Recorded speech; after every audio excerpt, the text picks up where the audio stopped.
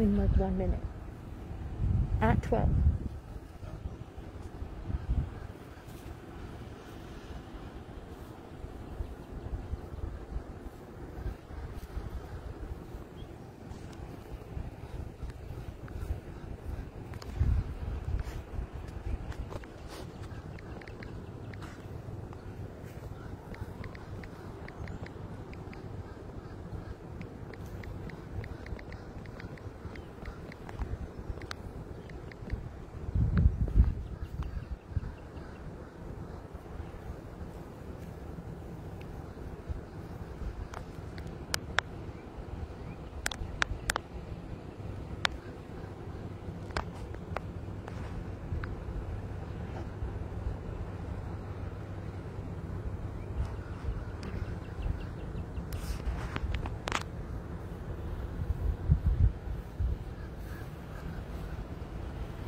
Welcome. I'm Joan Plisko, the Community Sustainability Director here at Pearlstone, a 180 acre retreat, conference, and education center in Reisterstown, Maryland.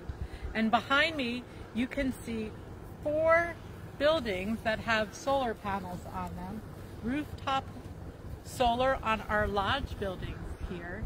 And I want to give you a few quick facts about the rooftop solar and then pass this over to two people that made this happen.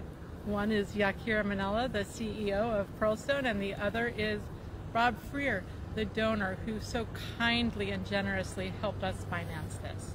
First of all, this solar installation is 57 kilowatts. It's 10,000 square feet on our rooftops and will provide 75,000 kilowatt hours each year of energy. Over the 25 year life of these panels, we'll realize a savings of $9,500 each year. The solar panels are connected to our sustainability and stewardship program, which I am going to ask Jakir to explain to you. Welcome Jakir and welcome Rob. Thank you so much, Joan. Thank you everybody for being with us today. What a beautiful day it is here.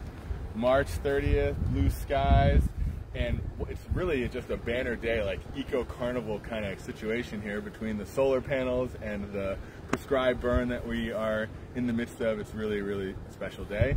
And I'm so excited and proud and honored, Rob, to be with you uh, to talk about this. We did it. You did it. We did it. This is really here.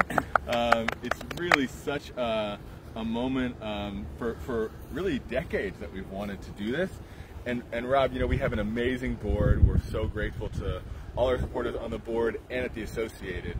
And as soon as I met you, I knew, and when we started talking about this, you really, you really got it, like why we'd want to do this. So we'd just love to hear from your own perspective, like why was this important? Why, why do you want to make this happen?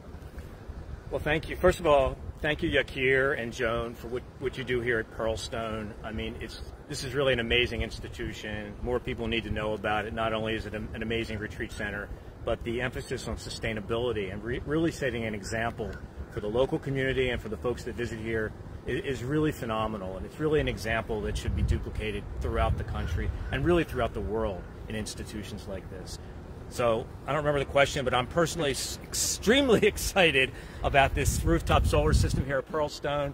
Um, this is actually the fifth roof, rooftop solar system that I'm personally responsible for in my uh, professional, personal, and now finally philanthropic life. So I'm really excited about this, and I hope it's not the last. I've been interested in solar really even before it was cool. When I was in college, I researched passive solar energy, and um, you know, rooftop um, solar is is the most uh, efficient, and I'm, I'm, sorry, the most sustainable form of energy. Um, it's emissionless, obviously.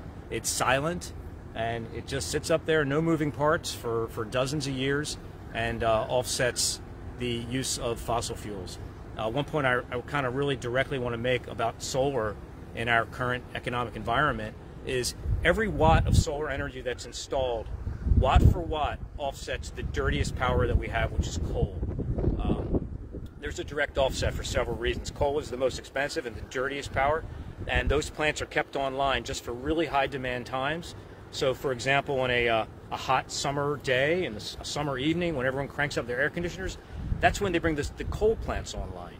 that's when solar is the best. So watt for watt, you don't see it, you don't appreciate it, but you should understand that that is offsetting coal emissions, the dirtiest power that's out there from a climate change perspective and from an environmental health perspective and an environmental justice perspective from where coal plants are located. So that's the beauty of this. I really want to get that message out there when people drive up to Pearlstone. They appreciate that beautiful message that's being sent by those solar panels on the roof. As they arrive here, they're going to learn even more about sustainability and the wonderful things that Jakir and, and Joan are doing here at Pearlstone. Awesome. Thank you so much, Rob. You know, it reminds me on a simple level when we teach Teva, when we have kids come out here, we say, we teach composting. And we try to get them the picture like, right now we're throwing our food into the trash and that is becoming waste in a landfill.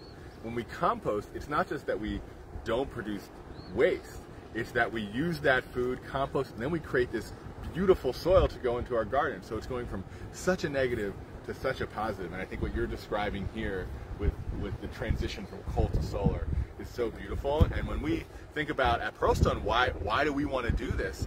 You know, our, our partners and our friends at Hazon say, we are in a climate crisis and Jewish tradition compels us to respond. We are in a climate crisis. It's a global planetary crisis. And it's creation, it's God's creation, it's every human being on the planet. We have 10 years to totally revolutionize and transform our energy economy. Now, this rooftop system by itself is not going to do that.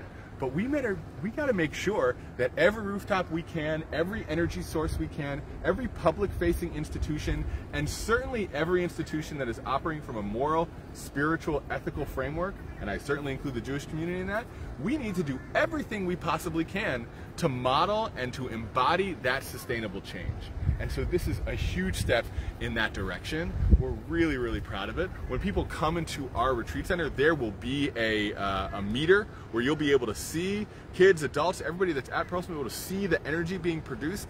And our hope is that it inspires and activates people to do this to your rooftops, at your synagogue, at your church, at your office. Like Rob said, I didn't know you were a serial so solar solar guy, but it makes sense, right? We should be doing this everywhere, and this is that's why you can't quite tell from this video. But when you walk up to Pearlstone, you can't miss it. It's right here, and that's a big part of the message. And I wonder if you could talk more about like how could people do this not just on an institutional level, but we were talking about neighborhood. So like what what other things can people do as homeowners or just individuals? Right. Well, the price of solar has come down dramatically over the past 10 years, and it's, it's really reached a point of grid parity where it's economic. Um, if you have a roof, a nice roof that faces more or less south, you could you could look into putting a solar system on your home. And by the nature of solar, it kind of needs to be distributed. Um, it needs to be on every rooftop that can possibly accommodate solar. So people can put direct rooftop on, direct solar onto the rooftop. That's one thing people can do, and there are ways to finance that to make it economic. And also, if you do not have a rooftop that's that's um, that where you can put solar, maybe you live in an apartment or some sort of communal housing, or your roof, you might live in a wooded area and your roof just isn't good for it. There is some, something new called community solar, where you can actually buy uh, uh, subscribe to a solar project that's being installed somewhere where there is good sun, and effectively you're it's exactly the same as you having solar on your roof. You're subscribing to a project that's specifically installed, and they need to sell that solar to people that will offset their use of electricity. So anyone can participate in community solar. There's a great company here locally, which is one of the best community solar companies in the region called Neighborhood Sun and uh, people can, can look them up. There's other community solar projects. Anyone can put solar on their roof or virtually put solar on their roof through community solar. So it really needs to be, you know, every home, institution, if you have a, like Jakir said, an institution that you have some involvement with, business, if you have a roof, look into solar. It really needs to be distributed. We need to dramatically increase the amount of solar that's being installed every year. Ironically, in 2020, 43% of the new electricity capacity installed in the country was solar, and something around 35% was wind, and unfortunately 20% is still fracked gas. We've got to, we have to squeeze out that fracked gas. We need to get the solar up to 50, 60%, and the wind up to 40, 50%, and we need to squeeze out the fracked gas. That's dirty and bad for the climate, and bad for the environment in so many ways. So more people need to do this. Everyone needs to think about doing this. Amen. Amen. And I think in a, in a prior uh, Sundial Solar Schmooze, we heard from uh, uh, what's his name? Uh, We heard from Gary Skulnik Gary of Skulnik. Neighborhood Sun, who Pearlstone has a partnership with. So if you're interested in community solar, we'll put that in the chat. It's nsunsolar.com forward slash Pearlstone. and we really want to thank Gary and our partners in Neighborhood Sun. As Rob was saying, it's critical. Everybody who has a roof, hopefully people have have roofs, um, and and everybody can participate in solar. And beyond just uh, individual homeowners or tenants or anybody that has a utility bill participating in community solar, there's even larger institutional scale projects that we hope to do here and that we're working with our amazing partners at the Associated to make happen in our Jewish community here in Baltimore. First, we should say this project itself would never have happened without the generosity and support of Rob, but also uh, with our partners and their support at the Associated. Uh, this is a brand new roof. Often, rooftops, depending on how old they are, need to be replaced in order to make uh, solar solar installations happen in a make in a long-term sustainable way. So, really want to thank our partners at the Associated for their support with with the new rooftop. And we are working towards on this campus. Uh, later today, we'll be seeing part of the campus in prescribed burn meadow restoration fires. Um, in a future part uh, of the campus, we will be we are we are hoping we're, we're looking to raise dollars, raise support to do a ground mount solar field, uh, several acres. Um, that will really produce significant solar power, not on a rooftop, just ground mount. And we actually want that to be a solar pasture. So underneath the solar panels, you'll find sheep grazing. The solar panels provide the sheep lots of shade, and the sheep actually graze uh, the, the grass in the pasture so that you don't get trees and bushes growing so high that they shade out the solar panels. Never try that with goats. Goats are no good. They'll eat the wires, they'll eat anything you let them near. But sheep it works with, so we want to have a solar pasture on site. Um, but that's more in the future. This year, in 2021, we are so proud and inspired by our friends at the Associated and every agency of the Associated who has together committed to a 20 year solar farm. It's going to be, I believe, over 10 acres of industrial rooftops in Baltimore City that will be providing 50% of the energy used by every, every agency of the Associated Jewish Community Federation of Baltimore. That is revolutionary. We actually led a session on this in a national Jewish climate fest uh, about a month ago. That federations from around the country are looking at this model to really, really power up solar power and renewable energy in a big way for Jewish communities. Pearlstone has committed to use 75% of our energy from that offsite solar farm uh, that will be located in Baltimore City. That's going live later in 2021. And that 75% plus this rooftop solar plus the ground mount solar will get us to 100% renewable energy, 100% solar. So stay with us. We are going to get there. And I wonder, Rob, when, when you think about that, you know, it's not going to happen right away. But we have taken a huge step right now, and we are thinking about what, how we can get there. And when you zoom out and you think three years from now, five years from now, you know, or more, how does the vision of, of this project, but not beyond this project, impact what you hope to see for Pearlstone, for the Jewish community, and for the world? Well, thanks, Jakir, for everything you're doing. And the I think the one of the great impacts of this is is trying to leverage this project. It's great to have solar on your roof at home, but one of the best things about it is your neighbors see it. They drive by and they say, "Wow, those guys have solar. You know, they could afford it, and they're doing something for the environment. Maybe I can." And Pearlstone can can really do that on steroids. With in a normal year, and please God, next year, Pearlstone will be back to 20,000 visitors a year who represent, you know, come from communities, you know, throughout the region and even further away. Uh, they represent institutions, churches, groups. They represent individuals, families. People come pick up their kids here. Um, and, and I would love to see this leverage to the point where people would say, hey, wow, I just saw solar at Pearlstone and they had this really cool meter and maybe the kids come home and tell their parents about it. Or the, you know, the member of the church goes back and talks to their sustainability committee about it. And I would love to see that. We, we really, I guess it's hard to measure that, but it would be really beautiful to, to feel that, that we are leveraging this into more and more solar systems being installed. Amen. Amen. You know, I, I think about uh, Passover that we're here now celebrating this special holiday. And Everybody's enjoying their matzah, I'm sure, right? Our kids call it the cardboard, the flavored cardboard. Um, but it's really about, right? It's about that sense of memory and identity where we say in the Seder that every generation has to see as if we ourselves uh, have left Egypt. Um, and that we have this sense of freedom, that we don't take it for granted, and that with that freedom comes that responsibility. Like we say at the beginning of the Seder, this is the bread of affliction, let all who are hungry come and eat. Rob, you spoke about climate justice, right? And how where those dirty power plants were located disproportionately impacted and created huge public health disparities in, in minority uh, black and brown neighborhoods, right? So there is a justice element to this, and there's a way in which this holiday is not only gives us a sense to celebrate the spring on this sunny day and renewal and freedom, but also asks us to really accept the responsibility that comes with freedom. And when we think about, we know, we can't unknow the science around climate, right? We can't, we, we, we Jewish uh, tradition forbids us to, to sort of ignore that knowledge. We have to, we have to face it and we have to step into uh, responsibility to do something about it. And that's what this place is about. That's what you're doing so, so um, inspirationally, Rob, for me and I think for everybody here. And as we look to, to, to behind us, we can actually see some of the smoke rising from the, from the fire.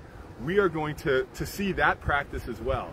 And I wonder, you know, when we see in the same day on the same land, a practice like the solar panels, a practice like the restoration fire, you know, even as we come out of this pandemic, Rob, if, it, if I didn't know better, I would start to feel hope.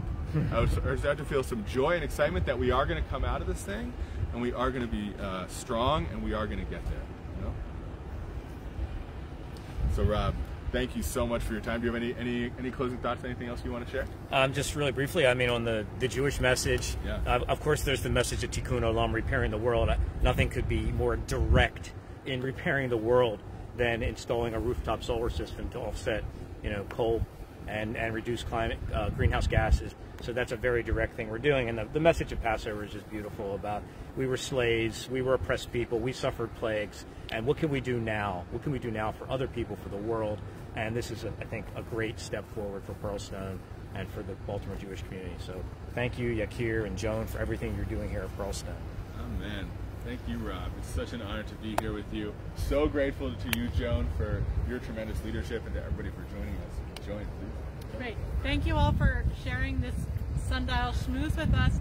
We're going to head back up to the fire and later this afternoon around 3 o'clock we're going to meet some of the folks that are working the fire, learn about what it takes to be part of that team. So please stay with us or rejoin us. See you guys later. Thank you. Ah, fire!